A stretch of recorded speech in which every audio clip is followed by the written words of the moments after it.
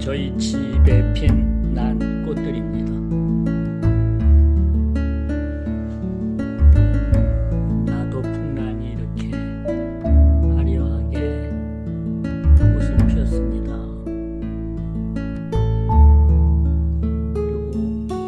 그리고 저희 집에서 키우